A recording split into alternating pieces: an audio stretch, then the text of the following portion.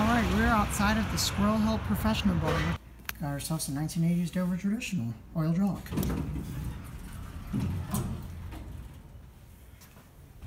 Level four. Interior go up. Ooh.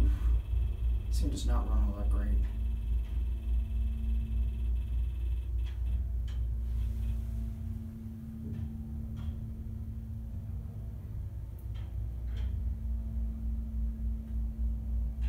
Here at four, the entire indicator except for two is burned out.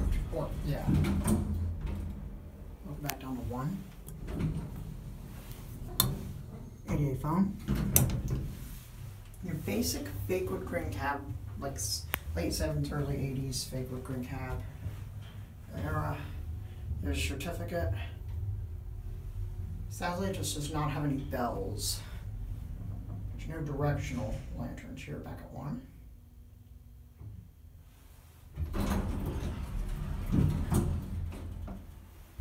With that 1980s exit sign. And that 1980s fire alarm. And that 1980s wallpaper. They're closing, it's gonna be out.